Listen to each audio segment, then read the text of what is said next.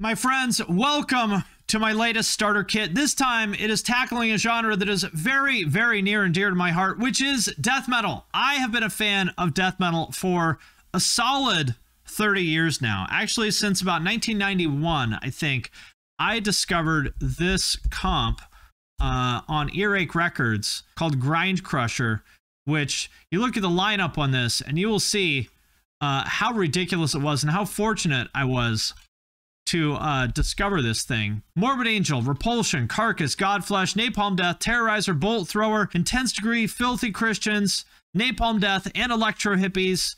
And then there's like an extended version of it that has even more songs, which is the one that I had. Ever since then, I have been in love with death metal. And you might be wondering, why don't you talk about death metal more often if you love it so much? And the answer is very simple it's the fans. And also, I want to thank Skillshare for sponsoring this video. Skillshare is an online learning community with thousands of inspiring classes for anyone who loves learning, wants to explore their creativity, and learn new skills. If you have a specific skill you're trying to learn, Skillshare is the perfect place to start. From photography and illustration to graphic design, freelancing, and more, you can find classes that will match your goals and interests. They have classes on everything from watercolor painting to hand lettering to starting an online store, all kinds of stuff that anyone who wants to be a creative professional should know. As you guys probably know, I'm a huge believer in the power of education to change your life because it did that for me, especially when it comes to these kind of practical skills. So I checked out Script, Shoot, and Edit with MKBHD because if I want to level up my YouTube game, well, he's the person to learn from, right? I've actually been in the online education business for a decade now, and I sincerely think that Skillshare is a great product. For one, it's ad so you can stay in the zone while you're exploring new skills. And there are new premium classes added every week, so there's always something new to discover. And the entire catalog is now available with subtitles in Spanish, French, Portuguese, and German. So if you want to check it out, the first 1,000 people to use this link right here will get a free one month trial of Skillshare or hit the link in the description of this video. So check it out and thanks again to Skillshare for sponsoring this video. The reason I don't talk about death metal is because I'm scared of you guys showing up and being angry nerds in the comment and talking shit about anything that's not death metal. so that makes me not want to talk about it. But that's unfortunate because I actually love death metal. It's one of my favorite genres of all time. I've been listening to death metal nonstop for 30 years. So please, any of you who are watching this, I ask you, I, I'm not asking, I'm begging you to prove me wrong. I'm begging you. Please do not make me regret talking about death metal. So today, I am going to take you on a little tour of the genre if you would like to get into it. So next time somebody stops you at the mall and they say, hey, you look like a school shooter. That means you probably know all about death metal. Where should I start? Next time that happens to you, you won't be caught unaware. You'll say, I've got just the video for you. Here, let me take out my Android phone that I bought at 7 Eleven and send you a link to this death metal starter kit by my boy Finn McKenty because it's got everything. So I will take you on a little journey through the genre in kind of sort of chronological order. Not exactly, but kind of sort of. Exactly. All you nerds out there right now about to type an angry comment, rule number one no getting angry about not mentioning the newest, most obscure bands with a thousand monthly listeners. That is rule number one. If you're about to comment, I can't believe there was no mention of blah, blah, blah, close the video right now you're banned. I'm sorry. So, the very beginning of the genre, in my opinion, would be the band Possessed. This is from 1985. The song is called Death Metal, and I would say this is the beginning of the genre. A little bit, it's a little bit rough around the edges, but I love this.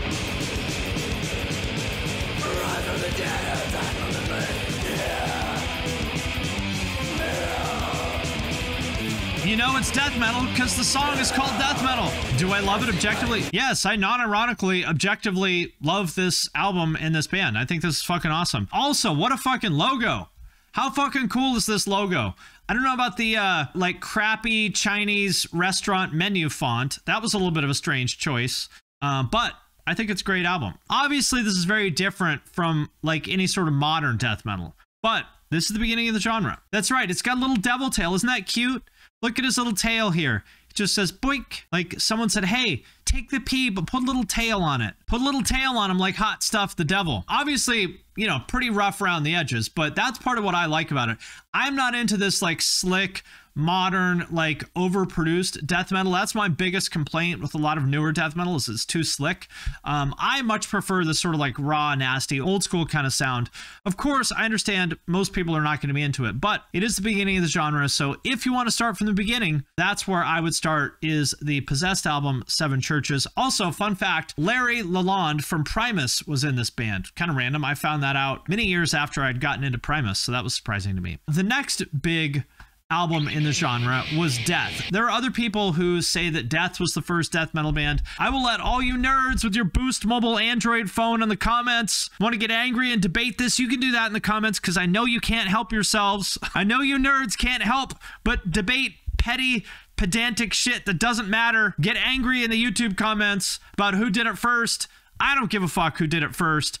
Either way, this is from 1987. This is the first Death album, Scream Bloody Gore. This band is from Florida. I think they're from Tampa. 1987. They had a couple demos before this, but this is their first album. Pretty good shit.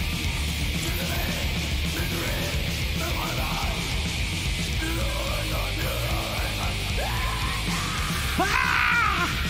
This didn't quite do it for me when I first heard Death, because um, I heard them after I had heard like Morbid Angel and some other kind of heavier bands. To me, this is more of like I would almost call this like, you know, proto death metal. Either way, whatever. The the thing you'll notice is uh, number one, not a lot of blast beats. As far as I know, Death didn't really have any blast beats, and the vocals are more of like a sort of extreme version of like thrash, almost like kind of like hardcore kind of vocals um because there's none of the like death metal growls that you might have heard. So that's like sort of the super old school death metal.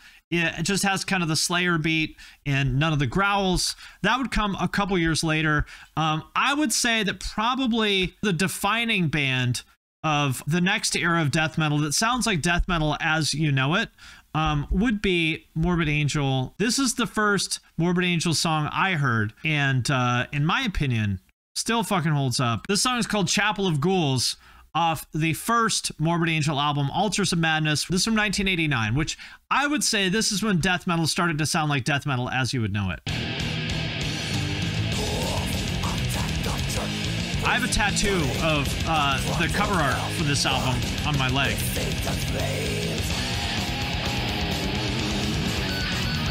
Really cool solos too. Wild, like out of control, warped kind of feel to the guitars. There's also a great, uh, great breakdown here.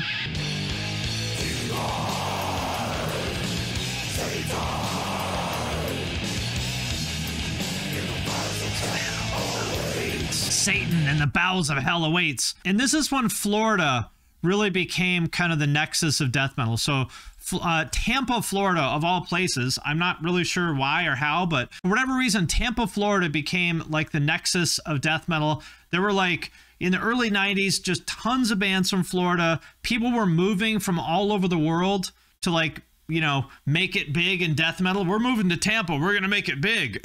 I don't think anybody is making it big in death metal even now. And certainly in the early 90s, uh, there was even less money in death metal uh, back then. So I'm not sure that that was a good uh, good move on that part. But either way, Florida was the place to be back then. The other big band of that time was Deicide. This is a band you don't really hear anything about these days, but back then, back in the early 90s, Deicide was like kind of the hottest band. They had the most hype out of uh, out of any of those bands, and they were pretty fucking good too. You may have seen this kind of uh, hey, viral video of them playing on uh, public access TV from 1988. Went and I saw these guys playing. This poor guy introducing them. Rehearsal.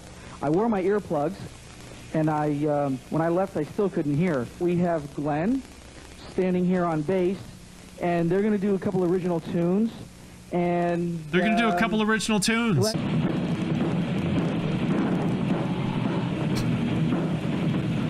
just sounds like fucking complete noise.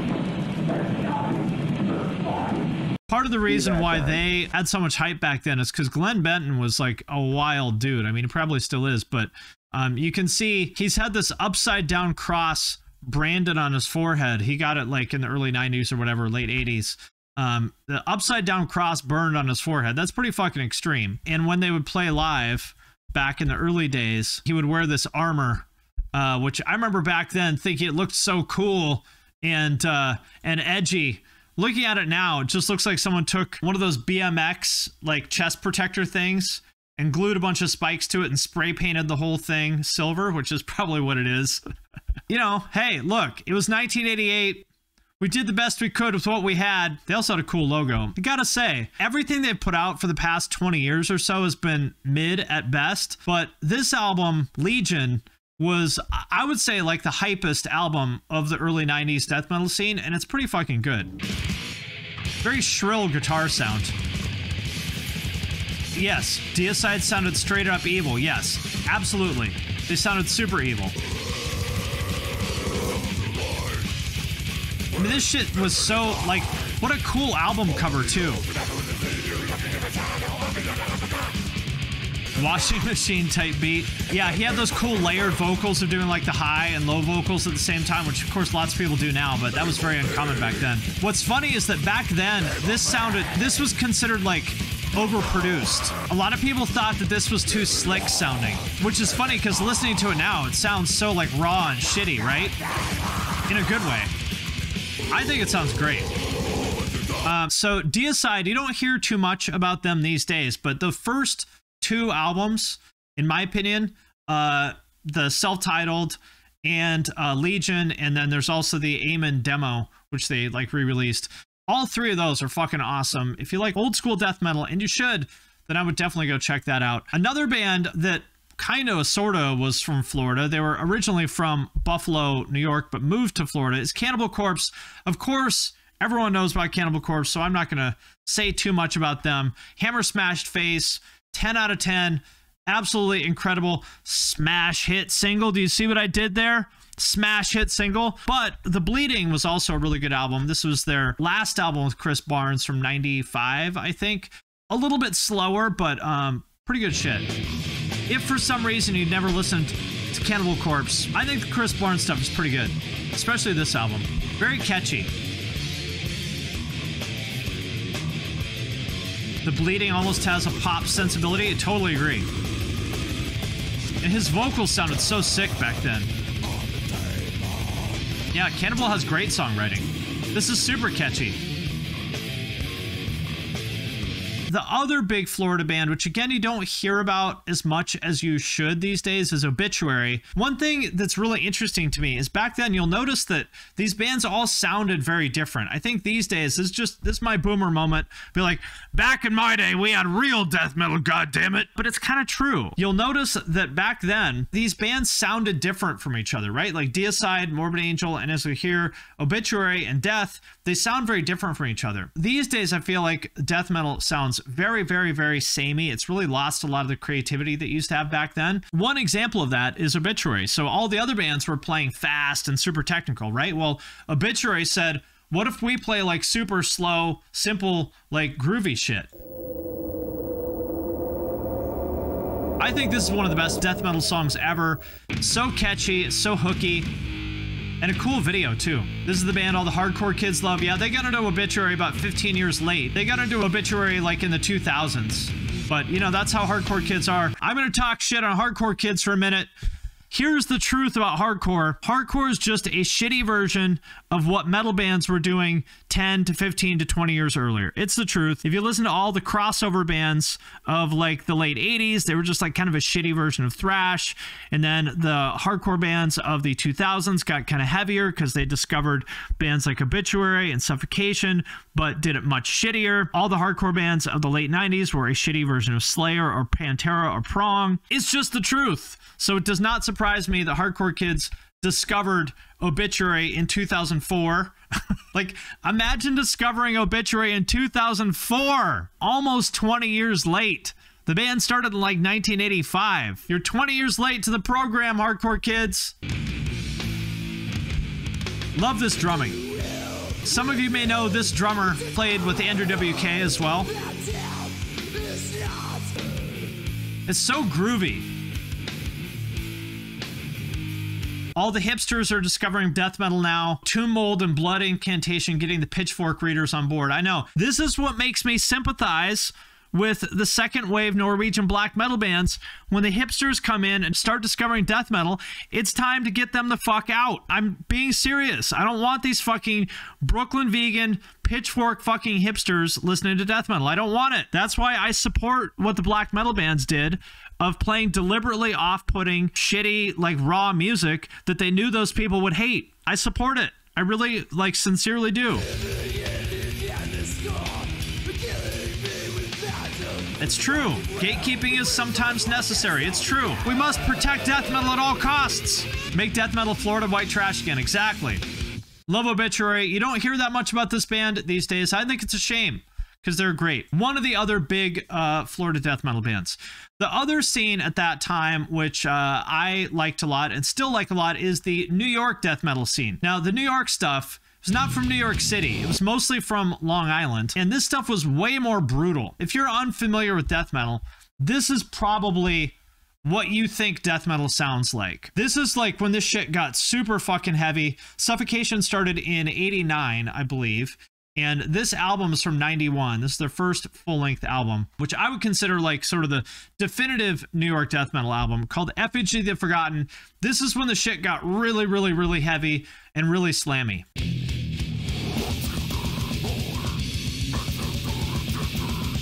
Love that guitar tone. I love the production on this. And they were like 20 when they did this, 21 maybe? Super young. And of course, as you guys all know, the iconic Liege of Inveracity slam part. This is the riff that really started slam. You can hear like every beatdown band and shit like that, all these like fucking new jack hardcore bands that discovered suffocation five years ago. You will recognize this riff, this like chunky chromatic kind of riff has been ripped off millions and millions of times. Right here, here it is. Here comes the riff.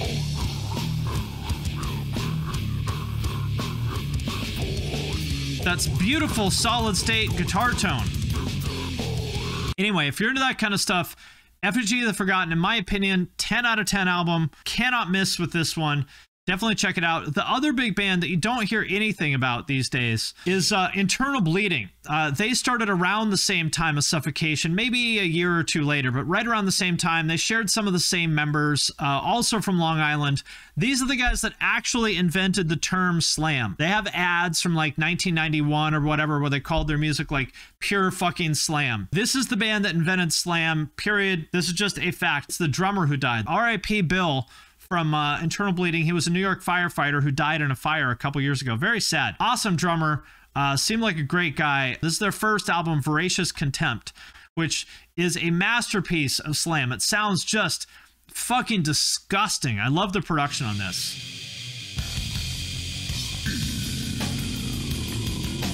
The vocals are so filthy and such cool drumming. It sounds like shit in the best way. I'm a huge fan of this whole Internal Bleeding album. I mean, listen to this part. Love Pyrexia. Just really quickly, I could list all these fucking obscure Long Island death metal bands. Um, I'll just really quickly give a shout out to Pyrexia, another band from Long Island that shared some members with Internal Bleeding and Suffocation. This album has some of the fucking weirdest, most disturbing artwork of all time. Absolute fucking gem. If you're into like Long Island, like slam type stuff, this is from 1993, Sermon of Mockery. Absolute fucking gem. I worship this album. So groovy and slammy. Just love those like chromatic slam riffs. Good question here. What was going on on Long Island that there were all these bands from Long Island? Well, have you ever been to Long Island? You know how there's all those like meathead, like idiot Guidos? You know, like the guys on Jersey Shore and stuff? Imagine those guys playing death metal, and that's what was going on. Like, hey, what's going on? We're Internal Bleeding from Long Island, New York. Hope you guys keep it fucking brutal out there. Got some good slams coming up for you. Is our first song. It's called uh, Epoch of Brutality. That's uh, that's what was going on on Long Island. Just the meathead slam riffs. Last New York death metal band um, to note is Incantation. Uh, I don't actually think I know exactly where they're from. Well, they're from, yeah, they're from New Jersey. Maybe I don't know somewhere in the New York kind of area. This is the template for all the new school type shit, all the new school, old school death metal bands that you hear, like on all these labels like Maggot Stomp and whatnot. Incantation is the template for them, which I find kind of surprising because Incantation were not popular in the 90s. I saw them in maybe 96 or something like that, and there was maybe 30 people there, maybe. Nobody really gave a shit about Incantation at all back then. So it's kind of interesting to me that they are such an influential band now. This is their uh, 7 inch from 91, which is my favorite thing that they've done. Like, listen to how many modern bands sound like this. All that Tomb Mold, Blood Incantation shit. It's just straight up copying early Incantation. This could be any number of fucking hipster death metal bands in the current year, right? Every fucking band sounds like this now.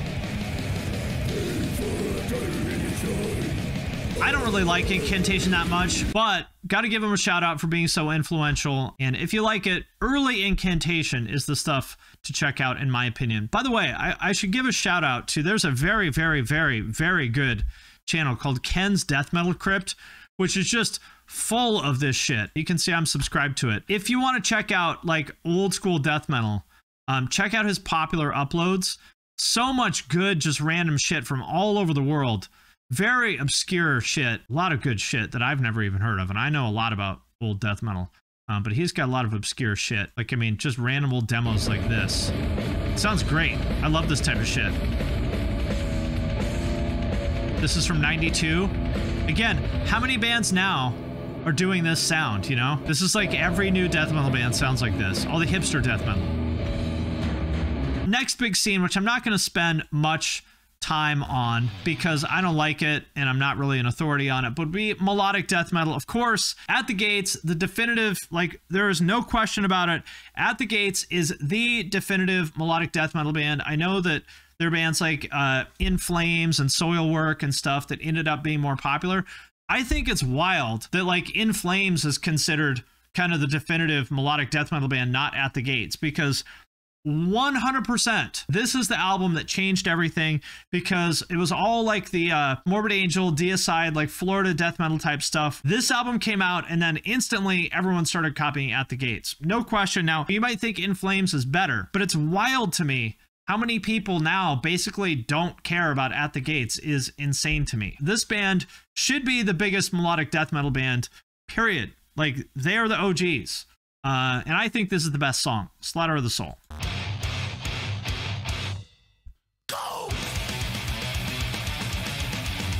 Great guitar tone.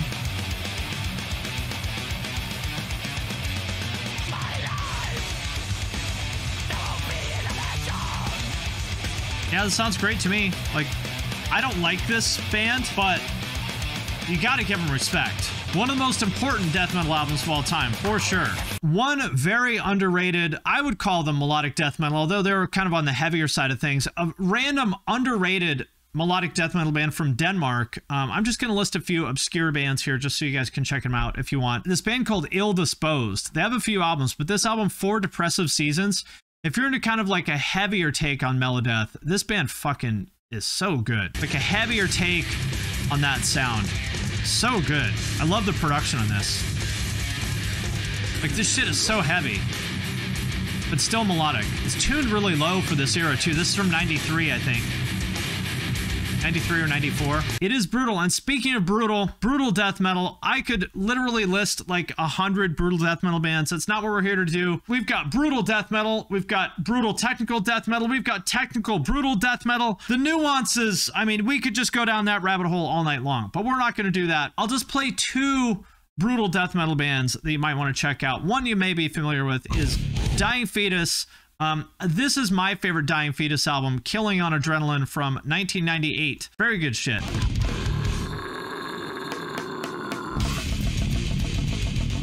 Very groovy. Dying Fetus is mostly horrible, uh, but this song is pretty good. Yeah, they never topped this song, you're right. This is the best one. Just like a bitch, you had to run away. tough guy lyrics. I think Dying Fetus is kind of crappy for the most part, but that album was good. Uh, my favorite band of this era is Deeds of Flesh, especially their first album. By the way, R.I.P. Eric from Deeds of Flesh. He died a couple years ago. Very sad. They put out quite a few other albums, which I think are okay, but this first album is their best one, in my opinion. This came out in 95 or 96, I think, called Trading Pieces. This is my favorite. Uh, I love the production on this. What a fucking great drum sound. This is like perfect death metal production to me. You can hear everything, but it's really filthy and raw. Love that guitar tone too. Just absolutely zero mids, zero presence. This whole album is just complete riff salad, and I fucking love it. I've been listening to this album nonstop since I first got it in 96. I think this band's from Santa Barbara, as I recall. So if you're into brutal death metal, if you like the sound of that, this is the album to check out, in my opinion. Now, it gets into what, in my opinion, is the most interesting territory. You guys, all you fucking new jacks out there, you think I don't know anything about progressive music. Let me tell you, motherfuckers, I've been listening to progressive death metal since like 1992. 30 fucking years I've been listening to this shit. So let's talk about some progressive and technical death metal. Uh, starting with, in my opinion, the most interesting band of the genre, Cynic. This album is from 92, I think, right? Uh, 93. They were like 19 or 20 when they played on this. No click track, one take. I asked the drummer about this. They played it live to tape in the studio with no fucking click track. Can you imagine playing this shit with no click track live to tape? R.I.P. Sean. Sean Reinert, R.I.P. Very interesting album. The first band to kind of do like jazz fusion death metal. Sean Malone, the bassist, I believe he died too, didn't he? Everyone in this band is just such a fucking good musician. I mean, listen to this. This is this uh, still sounds so cool and fresh to me. These like kind of Allan Holdsworth, like fusion kind of parts, really cool. Couple things to note here. One, somebody said, weren't they the first openly gay metal band?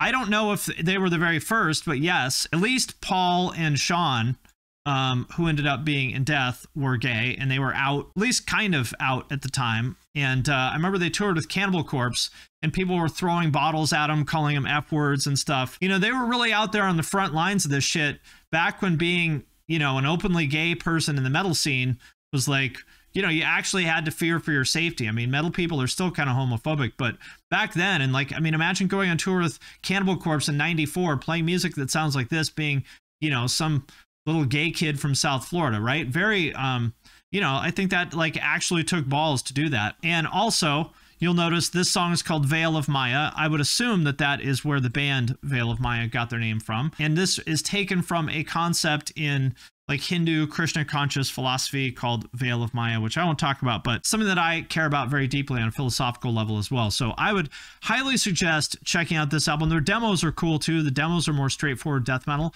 Um, but I think this is their best album, in my opinion, called Focus. Another band, of course, we've already talked about Death, but Death, uh, after kind of pioneering regular death metal, uh, went on to pioneer uh, progressive death metal, specifically on the album Human in 1991, where he got two of the guys from Cynic, who were like 19 at the time, to play in the band. And uh, sounds kind of similar. I think Cynic, uh, along with Steve DiGiorgio from Sadus, who is an incredible bassist, you can kind of hear the sort of cynic like elements in this.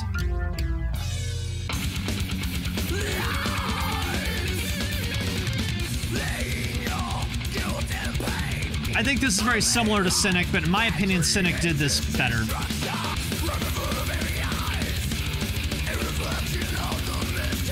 I do like Death. I think they're cool. Um, but I heard uh, Cynic before I heard this album. So to me, I never really got into this because I was already listening to Cynic and Atheist and Pestilence. So this kind of wasn't as interesting to me, but I do think it's very well done. So if you're into this stuff, check it out. Now, here's where it gets interesting.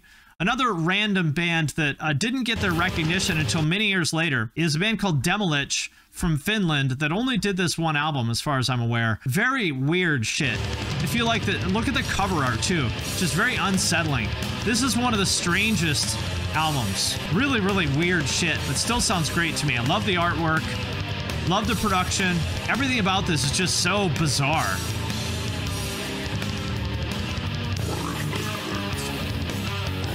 Jazzy death metal with a frog on vocals, exactly.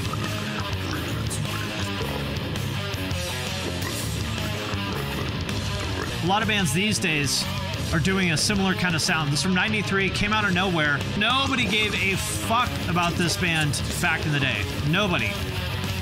I didn't hear them until 98. Still, it's like such a strange sound, right? Big fan. Another progressive band that, if for some reason you guys haven't listened to Opeth, you definitely should. Great band. You know, they started out as relatively straightforward death metal, but then I, I think this is their best album. When they started to sound more like Steely Dan. this album's a masterpiece. Just flawless album, in my opinion. Opeth's death metal stuff is cool, but I think this is way better. I mean, this song is 10 minutes long, and there's just like multiple movements in it. Great album. Does kind of sound like Ghost, doesn't it? If for some reason you haven't listened to Opeth, you should. They're great. Another band that, of course, you got to listen to if you're into, you know, technical death metal. I would say still this this is from what 99 or so, and I would say this still holds up. Necrophagist.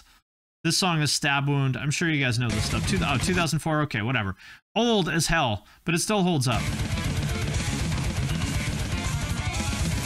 I wouldn't choose to listen to this, but it does sound great.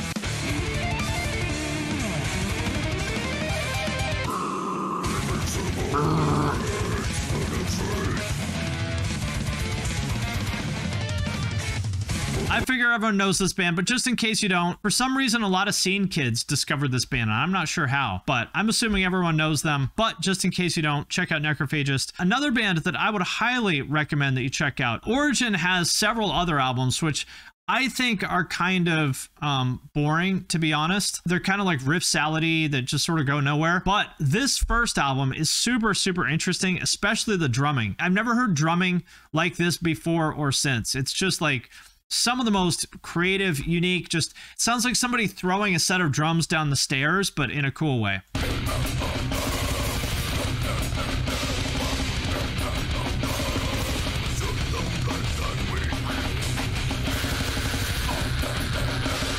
Exactly. The drums are almost suffocating, so erratic and punishing. Yes. This is the first album I heard Gravity Blasts on. It's the, the, strangest drumming. Like he's not even playing beats. They're just like random single stroke rolls and stuff, right? Like it's it's just single stroke rolls around the kit. It's really strange. Now check this motherfucker out. He has such a strange style. Um, and notice the economy of motion. The guy barely moves. He's playing the wildest shit and he's just moving like this much. It doesn't look that cool, but this is why he's able to play all this crazy shit moving his hands like this much.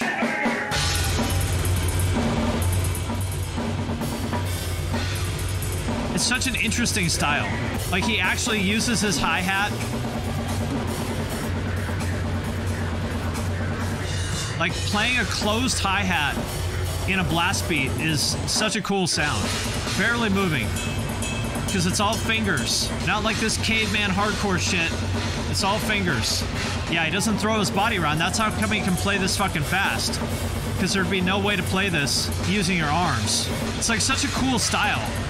You know, not just like all these like boring blasters.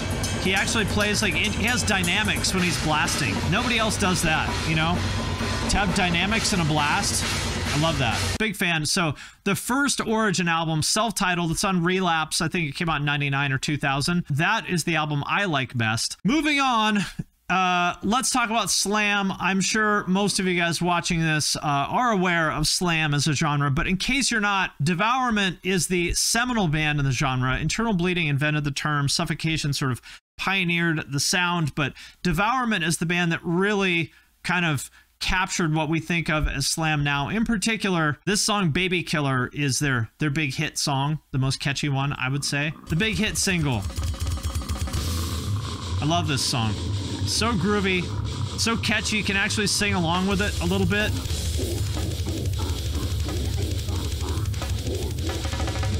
Devourment is still around. I do not like their newer stuff as much, but they are still around. Cool guys.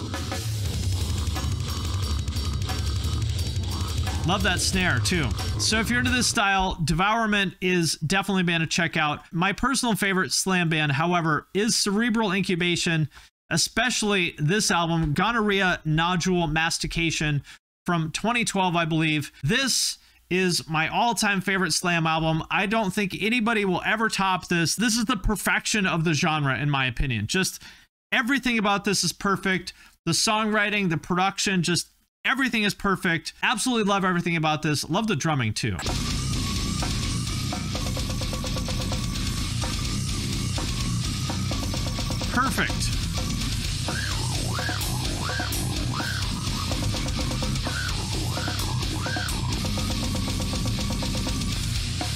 Love this guitar tone too. I believe it's a metal zone.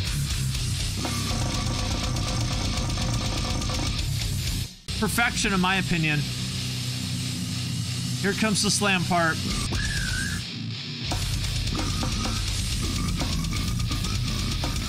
Love the drumming in this album too. Shout out to Ricky. Obviously, not the most listener friendly shit.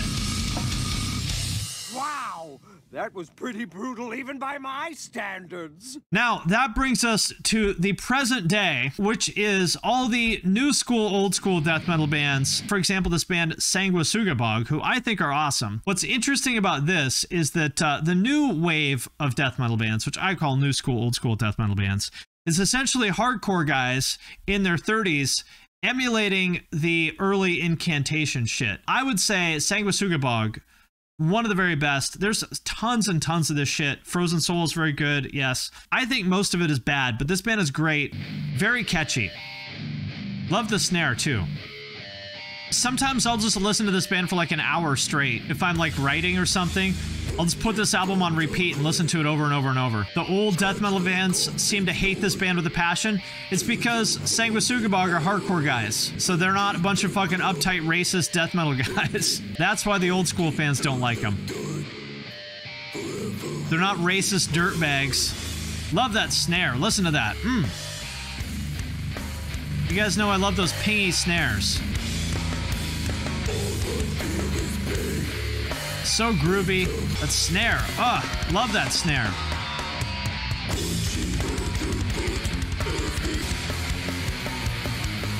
Love the polka beat. You can see how obscure this is. 14 views. This is a band called Damnation's Domain, which is uh, some, I think it's like all the members, or at least some of the members from the hardcore band Year of the Knife playing death metal. This is some pretty weird shit. It's all the members moved around. Okay. This is like very, very aggressive, weird, um, nasty shit. And I love it. This is like genuinely unsettling, filthy shit in the way that death metal should be. It just sounds fucking putrid, right? It does whip. I agree. This is what death metal is supposed to be. Not this like overly polished, fucking pristine technical shit. It should be filthy and nasty and disgusting like this. It sounds wrong, exactly. Straight out of the sewer. It sounds like some shit tier demo from 1990 in a great way. The last band I will leave you with, as far as new school, old school death metal goes, is my friends in Gatecreeper. This shit fucks. No two ways around it. This is like one of the best songs in the genre ever. When it comes to new school, old school death metal, this might be my favorite song in the entire genre. This is Rusted Gold by Gatecreeper.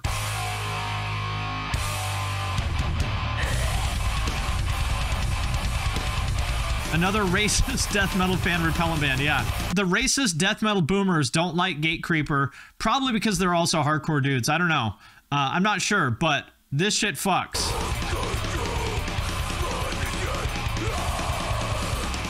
God, so good. So fucking nasty.